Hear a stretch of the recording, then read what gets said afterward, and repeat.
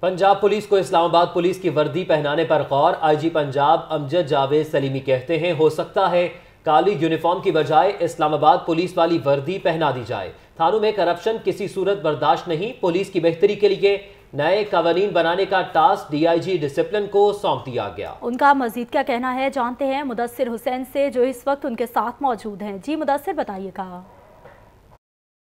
امجد جوید سلیمی کے بعد سے لاہور سمیت پنجاب بھر کے ہسپتالوں میں خدمت کاؤنٹر بنائے گئے ہیں۔ ان خدمت کاؤنٹر سے شہریوں کو کیا فائدہ ہوگا؟ ہم آئی جی پنجاب سے جاننے کی کوشش کرتے ہیں۔ بیسیکلی یہ خدمت کاؤنٹر کا جو کانسیپٹ ہے ہاسپیٹلز میں بنانے کا، یہ ہمارا ایک جب انیس سو چوتیس کے جو پولیس رول بنے تو اس کے مطابق یہ تھا کہ کوئی بھی زخمی جب ہاسپیٹل میں آتا ہے تو اس کے پاس جس کا میڈیکل لیگل بننا ہوتا ہے اس کے لیے تھانے سے ڈاکٹ کا ہونا بہت ضروری ہے۔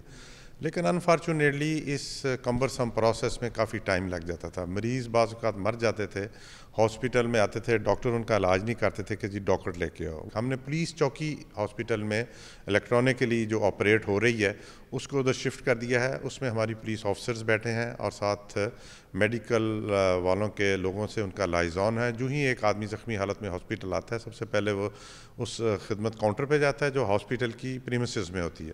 تو وہاں سے وہ فوری طور پہ بیس منٹ کے ٹائم میں اس کا ڈاکٹ کمپلیٹ ہو جاتا ہے۔ ادھر اس کا C N S C number لے کے اس کے سارے کوائف درج ہوتے ہیں۔ ادھر سے وہ ای میل کے ذریعے تھانہ بھیج دیتے ہیں۔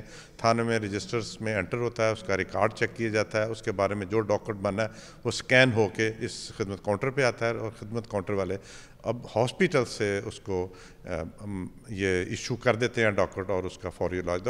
سر یہ بھی آپ جزا سزا کے جو طریقہ کار ہے اس میں بھی تبدیلی کر رہے ہیں اس کے حوالے سے کیا پالیسی بنائی جا رہی ہے یہ بھی بتا ہم نے ایک ڈسپلن میٹرکس بنایا ہے اور اس ڈسپلن میٹرکس میں گائیڈ لائنز دے رہے ہیں اپنے آفیسرز کو کہ آپ نے یہ یہ جو جرائم ہے ان جرائم کی اتنی سزا بنتی ہے اور اس کے اندر رہ کے اس سزا تو اس میں یونیفارمٹی آف پنشمنٹ کا کانسیپٹ لا رہے ہیں تاکہ جس بندے کو جو سزا ملنی ہے وہ اس کے جرم کے حساب سے ہو غیر ضروری ان نیسیسری اوور پنشمنٹ جو ہے وہ بھی کوئی اچھا ماڈل نہیں ہے۔ سر اسی کویشچن سے میرا کویشچن ہے کہ جو فیک کمپلینٹ ہیں ان کے خلاف کوئی کاروائی کے لیے کوئی جی وہ اس کے لیے قانون سازی ہو چکی ہے۔ اب وہ ہماری ایک دفعہ ہے قانون کی ایک سو بیاسی۔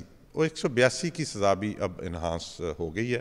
وہ ہم اس پہ جو لوگ جھوٹی ایف آئی آر درج کروائیں گے یا جھوٹی انفارمیشن پولیس کو دیں گے جھوٹی اطلاع دینے پہ بھی سزا ہو سر میرا لاسٹ کویشچن ہے کہ یہ جو کرپشن ہے جو تھانوں میں یا تفتیشی افسران کرتے ہیں اس کے حوالے سے کیا پالیسی بنا رہے ہیں؟ جی اس کے لیے ہم انٹرنل اکاؤنٹیبلٹی یونٹ بنایا ہے۔ سخت خود احتسابی نظام نافذ کر رہے ہیں۔ جو ہمارے ایک best police officer with best reputation and integrity اس کو ہم انٹرنل اکاؤنٹیبلٹی یونٹ کا ایڈیشنل آئی جی لیول کے ایک افسر کو اس کا انچارج بنایا ہے۔ ان شاء اللہ تعالیٰ اس سخت خود احتسابی نظام کی وجہ سے آپ پولیس میں ایک واضح تبدیلی دیکھیں گے۔ جی یہ تھے آئی جی پنجاب امجد جوید سلیمی جو پولیس میں لیے گئے انیشیٹو اور پولیس میں کرپشن کے خاتمے کے حوالے سے بتا رہے۔